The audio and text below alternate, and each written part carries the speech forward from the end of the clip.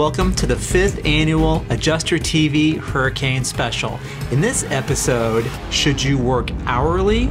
Starting now. This is Adjuster TV, Adjusters First. This video is sponsored by Xactware Training, the creators of Xactimate X1 and Xactimate Mobile. Get certified as an Xactimate expert right now at the link in the description below. Okay, should you work hourly? And the short answer is yes, absolutely.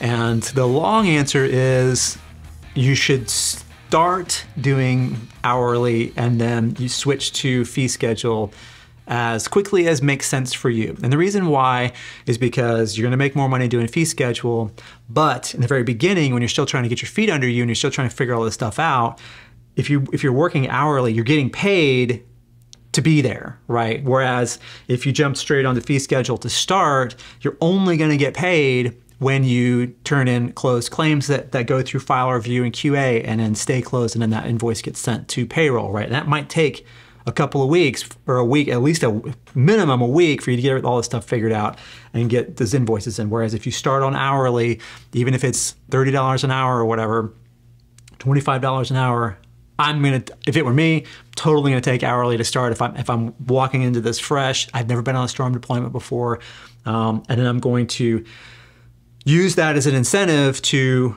uh, get ramped up as quickly as possible to where I can do. I'm closing claims. I kind of get my brain wrapped around it now. It's clicked. I've done maybe six, eight, maybe a dozen claims, right, over the course of 10 days, a uh, week, 10 days, maybe two weeks. And then I'm gonna be calling my manager and saying, hey, I think I got I think I got my brain wrapped around this. Can we switch me to fee schedule? And you may you may or may not have that option, but I've heard um, that you that that new adjusters do get this option sometimes. So as far as should you work hourly or fee schedule, I would say yes to both, right? And if you've never worked, if you have worked storms before, if you've got claims experience, I'm not there's no way I'm doing hourly, right? Because I don't I don't need to take that time to be paid while I'm trying to like find the light switch in the room, right? And, and to get this this whole thing illuminated so that I can figure out how to close claims, right? I'm jumping straight in, I'm closing claims right away.